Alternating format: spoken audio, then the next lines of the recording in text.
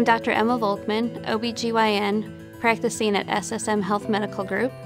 I completed my medical school at Southern Illinois University School of Medicine, and I completed my residency at St. Louis University School of Medicine.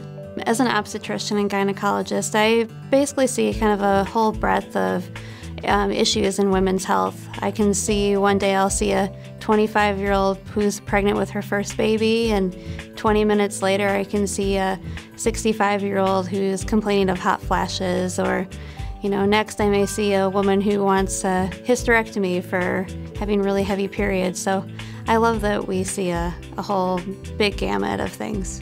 Typically, we start recommending pap smears, which is a test that looks at um, the cells of the cervix and tests for cervical cancer at age 21. But I'll see patients even younger, as young as 12, 13.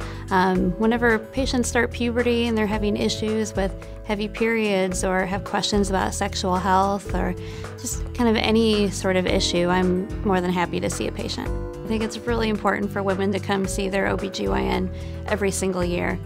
And the reason for that is so many things, such as cervical cancer, is very preventable if you get screened.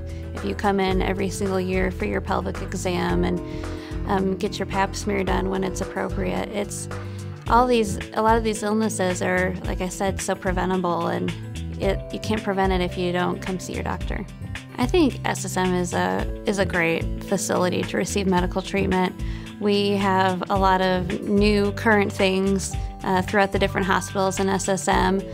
For our obstetric patients, we we have a high volume of deliveries. We have resources that are available at all of our clinics and if you happen to be somebody who is high risk, who maybe needs a little bit extra care, we have people on site that can take care of you. And if we say maybe you're a little too high risk for us, we have other facilities within SSM, such as St. Mary's, where you know you can receive exceptional health care.